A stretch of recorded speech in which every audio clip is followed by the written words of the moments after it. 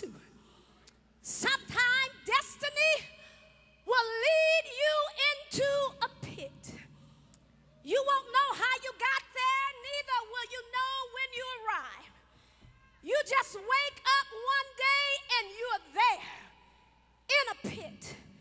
You have a million questions on your mind, but if you could just get the answer to one key question, like how in the world did I end up here?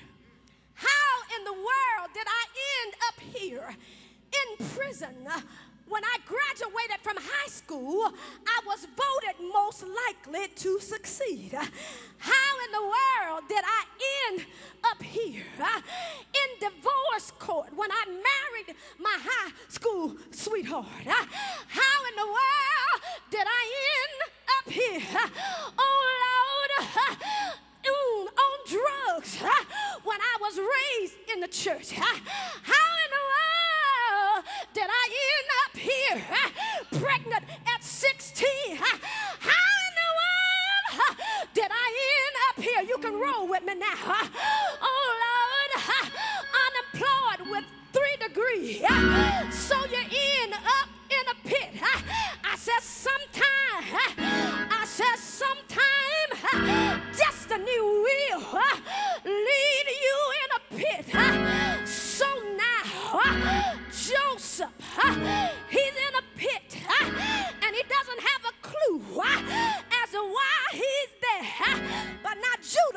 Begins to speak. Judah means pray. I want you to bother your neighbor just one more time for me and tell him, neighbor, tell him your praise will get you in, through, and out of situations you wouldn't ordinarily come out of. I don't know your story. Pastor Dylan, I don't know all that you've been through, but some situations where all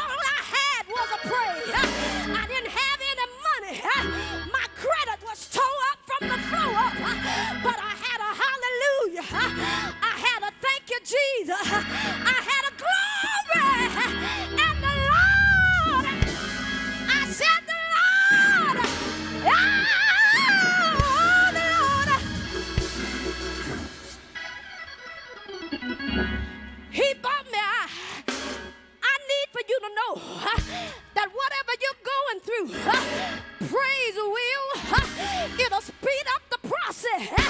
If perhaps you're in a pit, but don't have a pity party because you're coming out, why don't you look at another neighbor and tell him, neighbor,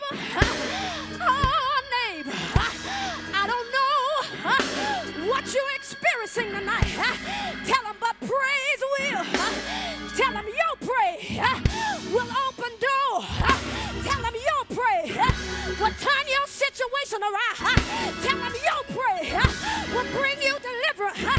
Your praise.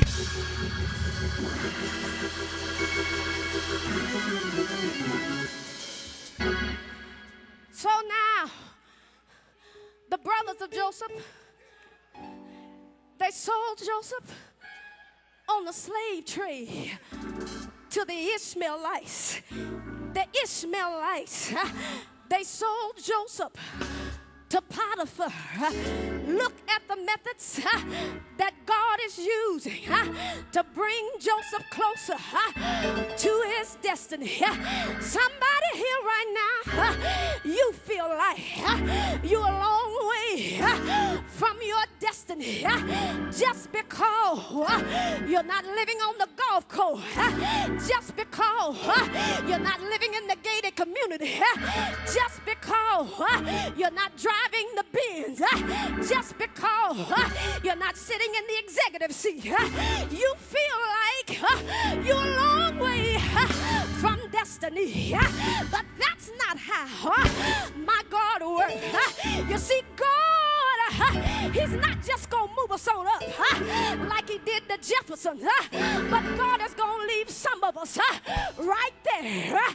in the little three bedroom, huh? one bath, huh? so that when he sends huh? the developers in huh? to buy you out huh? and build a shopping mall, huh? it'll be like quantum leap huh? from the little house huh? to the dream house. Huh?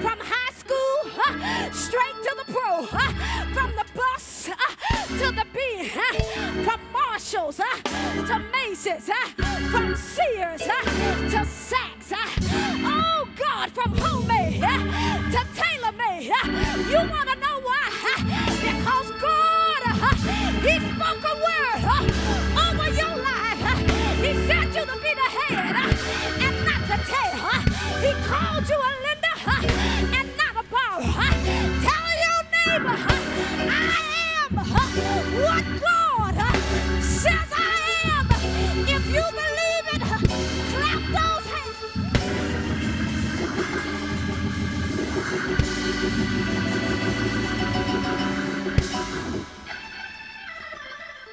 You see, destiny, as I close, is like a road trip. It's from Maine to California. The total distance is approximately 3,000 miles. So you leave, starting your journey called destiny, on a road called destiny. The first little town you get to is a little town called struggle. I know we've all been there at some point or another. Struggle in your home, struggle with your finances, struggle in your relationship, struggle to raise your children, struggle to graduate high school, struggle to finish college, but you cannot stay in your struggle because the word that God spoke over your life, He declared that I watch over my word to perform it.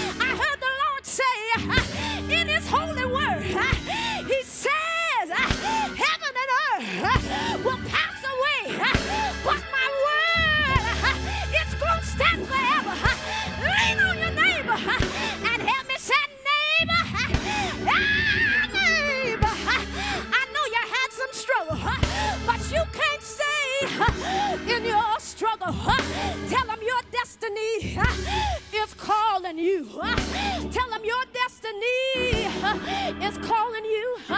So you leave the little town called struggle, traveling on the road of destiny. The next little town you get to is a little place called let down. Anybody ever? You ever ever been let down by folk that told you I'm with you? Through the thick and the thin, have you ever, you ever been let down by tongue talking folk? I'm talking about folk that you thought were praying for you, but when you looked around, they were talking about you. I know, I know you had let down by folk that told you, as long as I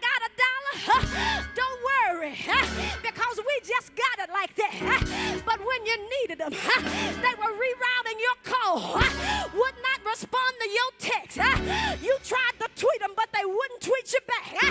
Look at your neighbor and tell him, neighbor, I know, I know you had some struggles. I know you had some letdown. Tell them what's your destiny. I don't hear nobody shout your destiny. It's you.